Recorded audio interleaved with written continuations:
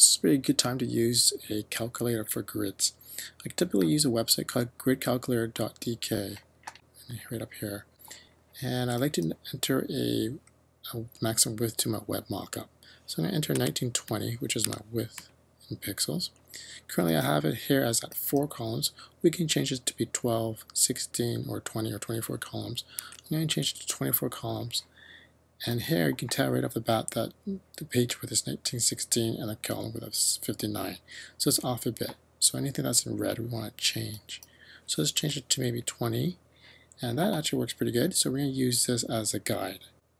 Okay, we're back in Photoshop now. And we're going to be adding some view guides. So we're going to view new guide layout. Enter in the 20 columns as per our calculator. We can change our gutter to be 20 as well. And you have 20 pixels for the top, left, bottom, and right margins. And say OK.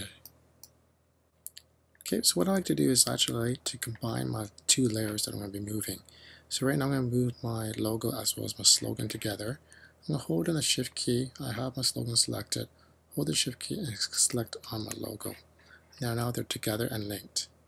When I move this together, they move together I'm going to move my logo to be at the beginning of the column.